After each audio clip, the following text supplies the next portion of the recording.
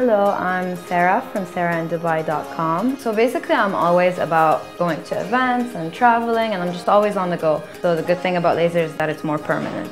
So I heard about Kaya long before I started coming here and the fact that it has reputation is great for me. So basically there's a dermatologist always on call, the laser technician is certified, I love that I can always follow up, I can just call, ask a question. There's a relationship that's built and I really appreciate that. I loved Kaya Ultima in all honesty because I did laser about a couple of years back elsewhere and it was a very painful experience. Kaya Ultima, it's refreshing, it's cold, I felt no pain whatsoever. It's very different from my old laser experience which I had elsewhere.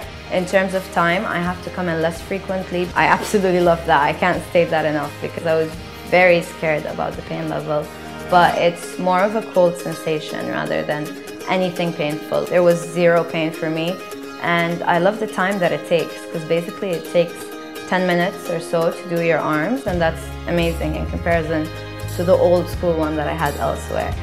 From the moment I walk in, honestly, till I speak to my therapist and I walk out, it's an absolutely wonderful experience. The way they look after you, the way the customer care goes on even after you leave, if you follow up or have any questions. So I definitely urge you to try it. And Kaya Ultima is a must, guys. Those old school thoughts about laser being painful and everything, this will erase it. Until next time, Sara and Dubai here. Bye.